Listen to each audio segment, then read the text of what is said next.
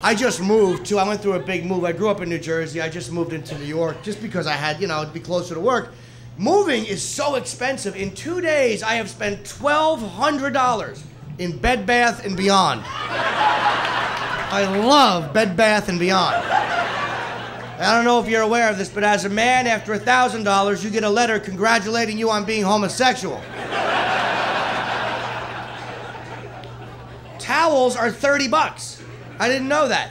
I lived at home till I was 28. Then I moved in with people who had towels. 30 bucks. I picked up a hooker once for 20. You know how annoying that is? I could have just handed her a towel and gotten change.